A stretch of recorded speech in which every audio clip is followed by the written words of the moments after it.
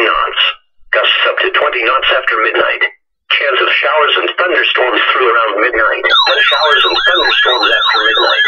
Winds 2 to 4 feet. Tuesday, west wind 10 to 15 knots.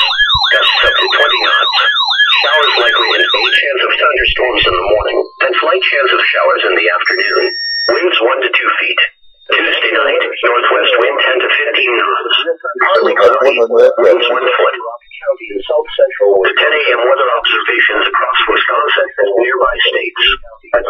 It was cloudy. The temperature was 69 degrees. The dew point 64, and the relative humidity was 84%. The winds were south at 10 miles an hour. The pressure was 29.86 inches and steady.